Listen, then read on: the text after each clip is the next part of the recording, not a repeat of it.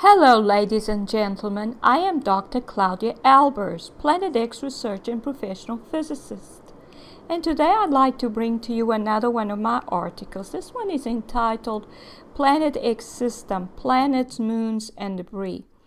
Now, the LASCO, which stands for Large Angle and Spectrometric Coronagraph, comprises of three coronagraph telescopes, which cover the sun's brilliance with an occulter so that the activity on the sun's corona can be clearly observed.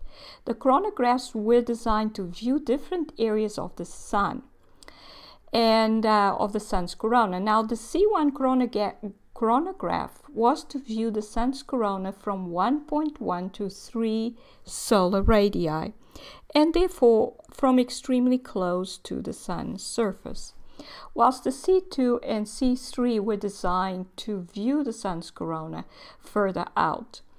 But um, data from the C1 coronagraph is no longer available. And this is because in 1998, uh, control was lost over the SOHO spacecraft on which the LASCO instruments are mounted. And control was reestablished some weeks later, but the C1 coronagraph was apparently not recovered. However, some of these images uh, from 1996 from the LASCO C1 coronagraph are available.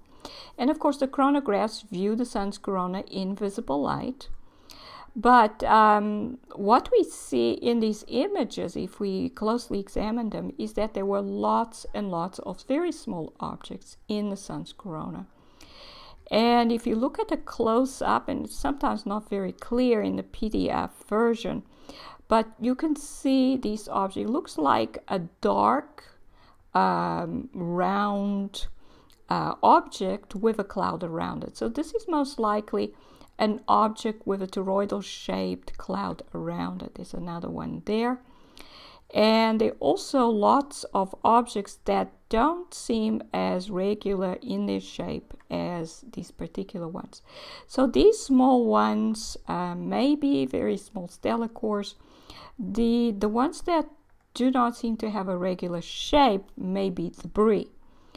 And we can see there are lots of these here. You can see one there, there. Lots of objects. And over here, these are also either objects or debris. These are most likely debris. The stellar cores themselves are usually found in the sun's corona, whilst the debris is just everywhere in front uh, around the sun. So you can see there's a discharge between at least two objects here and you can see lots of debris everywhere, lots of objects in the sun's corona. And we can see these in a close-up. You can see there's an object there. We can see lots of objects here in the corona. And we can see lots of them there. So there are lots and lots of objects. So they were there already in 1996. This image is from July 23, 2017. It's an SDO image um, in 9.4 nanometers, so it's an X-ray image. You can see the same pattern. Dark holes with toroidal or ring-shaped uh, coronal plasma cloud around it. Lots of these. And if you examine it carefully, they come in different sizes. Not all of them seem to be uh, have this uh, round shape.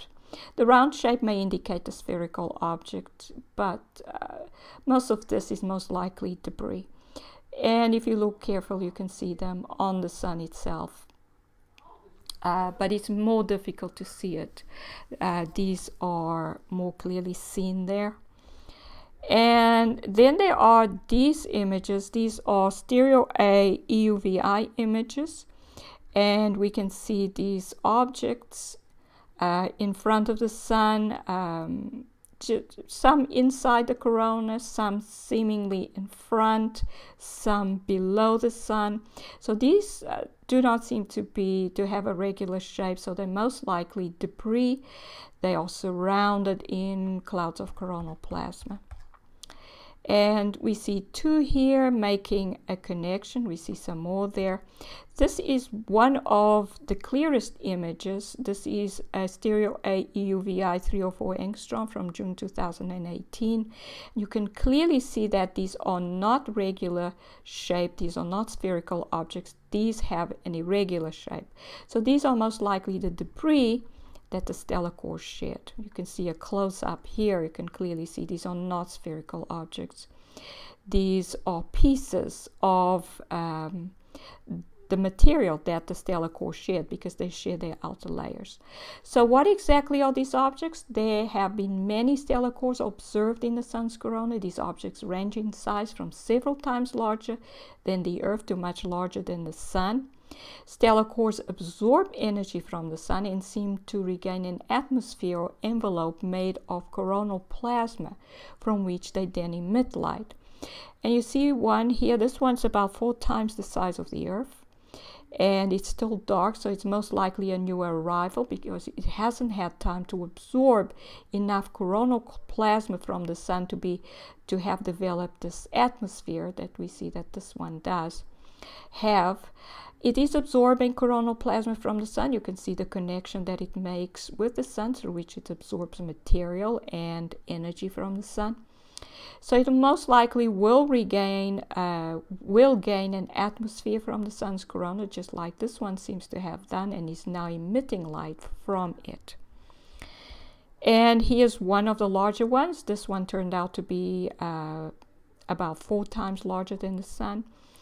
Initially I estimated it to be three, at least three times larger than the sun, but closer examination revealed it's actually four times larger than the sun. And you can see the, the jets from the sun going out and this plasma in these jets enveloping this object. So this object has to be very close to the sun, so we can do a size comparison. And the sun size is given by this white circle on the occulter. Now, even though all the objects seem to be able to emit light from the captured atmosphere, it's not likely that they were all one stars. The larger ones were most likely living stars once, but the hundreds and thousands of smaller objects must have been the planets and moons that orbited these stars, or they are debris.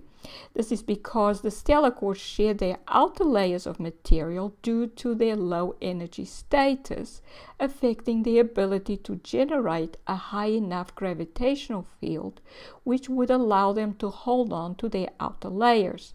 This shedding creates a lot of debris in the solar system. This debris floats around in the inner solar system and can be seen as white or black dots in many solar images.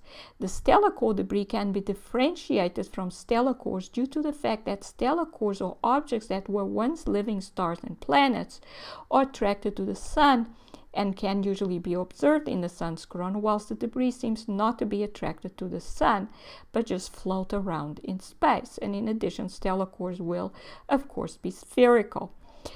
Um, now here we see a lot of this debris as these white and black dots. They, as you can see, they even appear to be in directly in front of the sun. So these are not stars. This is debris in uh, the sun's uh, outer corona and just floating around in space. Uh, they just float around in space because they're very low. This material is very low in gravitational energy, so it does not respond to gravitational fields at all. Now, the debris and the smaller stellar cores are usually seen being ejected away from the sun when there is a CME event, along with the larger objects. Since the smaller stellar cores and the debris are less massive than the large stellar cores, it is likely that they are ejected to much larger distances away from the sun and may then reach the planets. This may explain why small stellar cores, moon-sized perhaps, have been observed from the Earth's surface as well as non-spherical objects. Uh, these would be asteroid-shaped, irregular in shape, which would be part of the Planet X uh, generated debris.